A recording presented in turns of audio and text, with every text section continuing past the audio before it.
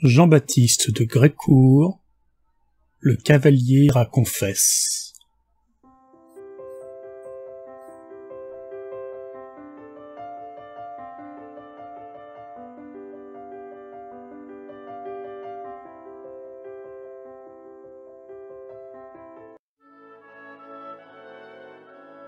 Un cavalier s'accusait à confesse d'avoir pendant toute une nuit partagé le lit de l'hôtesse où son bidet l'avait conduit.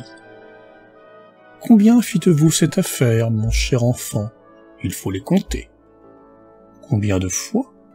Oh oh, mon père, je ne suis pas ici pour me vanter.